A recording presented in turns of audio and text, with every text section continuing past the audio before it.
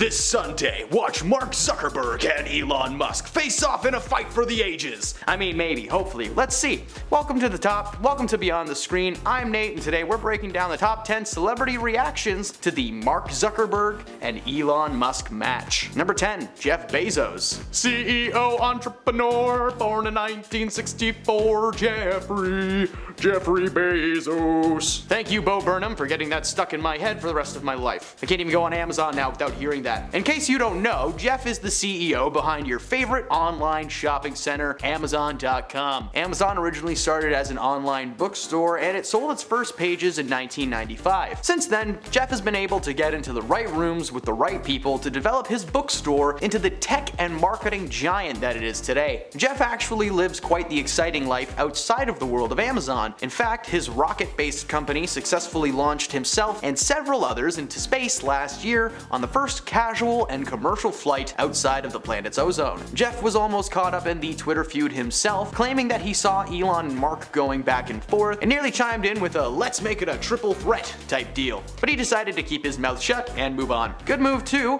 Imagine if he did send that tweet. Would Jeff, Elon, and Mark square off in the ring? Well, Okay, well since there's three of them, technically it's a triangle, but Number 9. Jesse Eisenberg. Jesse Eisenberg actually played Mark Zuckerberg in the 2010 biopic called The Social Network. The film followed Mark and his journey to stealing, I mean creating, one of the most used social media platforms of all time, Facebook. Jesse recently shared his opinion on the fight between Elon and Mark, claiming that if it were to take place, that Elon better watch out. According to Jesse, he had to do a lot of research on Mark to prepare for the role in the social network. In his time doing said research, he noticed that Mark has a bit of a sporadic streak. He's quick and he's squirrely. Not to mention his mental stability was questionable considering his actions towards his colleagues and his friends. If you need further proof that Mark is ready, just check out his TikTok showcasing his jujitsu moves. Apparently Mark won a tournament for the skills recently. Not only does he have the unhinged mind that helps competitors go full force, but he also has the muscle memory to counter whatever strikes Elon intends to throw. So if Jesse's right, then the fight won't just be entertaining, eh, might be quick. Number 8. Kenan Thompson. Kenan actually got to spend a week straight with Mr. Musk as he hosted the late night sketch show Saturday Night Live in 2021. Elon was chosen to host the show as he was promoting his new cryptocurrency Dogecoin at the time, and SNL had never really asked a tech mogul to come on and host a full episode of the show before. I was fortunate enough to watch that episode live, and I have to admit, Elon actually did a pretty good job. He's not an actor by any means, but the fact that he knows he can't do anything other than be himself in a scene made the the performances feel so innocent and fresh. Plus seeing him in a courtroom dressed as Wario?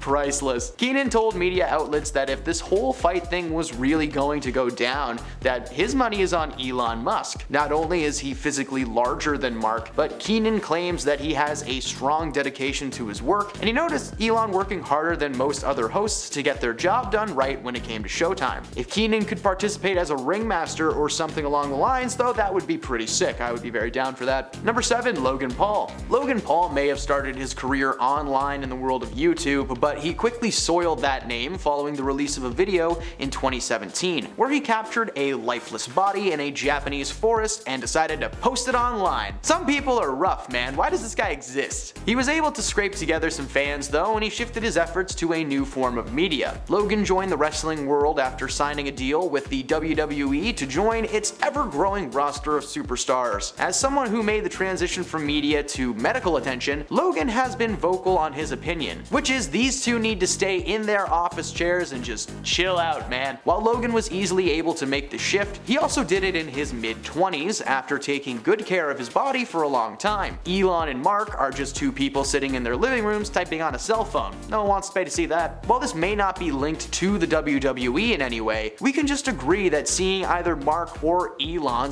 standing in the ring would allow a lot of us to pass away a happy person. Number 6. Dana White. The hypothetical battle of billionaires is slowly becoming more and more realistic. With so many people calling for Mark and Elon to square up in the octagon, the UFC has officially gotten involved. The president of the Ultimate Fighting Championship, Dana White, went public with his opinion on the bout a few days ago, claiming that he was chomping at the teeth to make this thing actually happen. The UFC is no stranger to brutal bouts between bitter rivals. The idea that Dana White wants to capitalize on both the hype surrounding the fight and the names involved as well, well, that's definitely not crazy to think about. Think about the title card Elon Musk versus Mark Zuckerberg, presented by Red Bull. He told the MMA news outlet MMA Fighting that he's currently working on a plan to put Elon and Mark together safely in a one on one match. The last thing anyone would want is the CEO of Meta or Tesla to accidentally get their nose smashed into their skulls. This match would also have some stipulations, as the MMA tends to split its fighters up by weight. Elon and Mark would be competing in what's known as an exhibition match, a one and done situation and it doesn't matter how much you weigh. Oh well look at that, UFC being all inclusive and stuff. Dana went on to claim that the event would feature up and coming competitors as well as veterans to make the show a spectacular for the ages. So here's hoping that it actually happens, that sounds cool. Number 5, Maye Musk. For those who don't know Elon's mom, let's just talk about her stellar career for a moment and give her a spotlight. Elon Musk's mom, Maye Musk, was on the cover of Sports Illustrated and has a modeling career spanning 50 years. She was a finalist in the 1969 Miss South Africa Beauty Competition before going on to appear in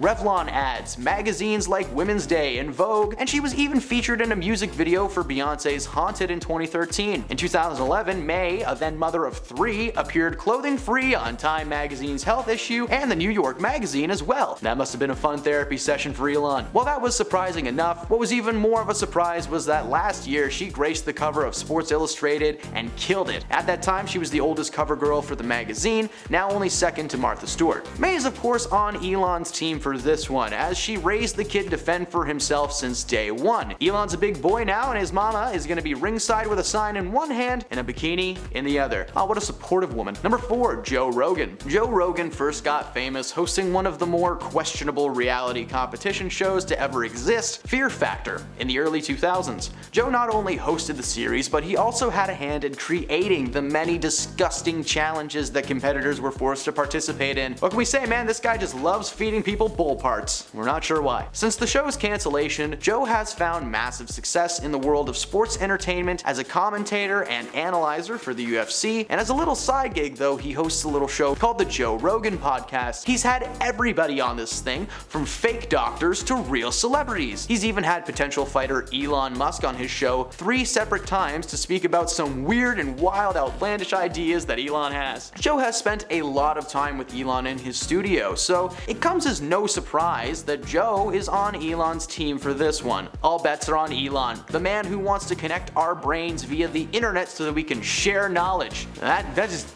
no, that just sounds so weird. Joe has claimed that not only does Elon have the skills to beat Mark, but the brains as well. If Elon has to step into the ring, he's gonna step in with some kind of taser amplified gloves or something. Needless to say, if this thing actually happens, Joe will be ringside with a big ol' sign that says, Elon, have my babies. Number 3. The Winklevoss Twins. For those who haven't seen the film The Social Network, allow me to just fill you in on who these guys are. Cameron and Tyler Winklevoss were the original creators of Facebook in 2002. The twins and their fellow classmate at Harvard, Divya Narendra, sought a better way to connect with their fellow students at Harvard and the surrounding universities. They developed a platform called the Harvard Connection. The idea for the platform was essentially it being clubs, so you could represent the school you were attending as well as meet others with similar interests as yourself. The idea was sound and it worked wonderfully well. So much that Mark Zuckerberg decided to steal the source code for the site, copied it, and used it to develop Facebook. When the news broke that Mark may be stepping into the ring with Elon Musk, they were ecstatic about the whole thing. The idea idea of seeing their old rival getting his teeth knocked in was something they were very down to see. While they haven't actually dropped any cash on the event yet, they have said that they'd be willing to sponsor the event if it means that Elon Musk is gonna clock Mark right in the kisser. Number 2. Bill Gates. The brain behind computer and gaming giant Microsoft, Bill Gates is a genius beyond compare. Okay, well not really, he gets compared to Steve Jobs a lot. Bill doesn't normally comment on anything, really, but he's given his two cents this time around. Or I guess his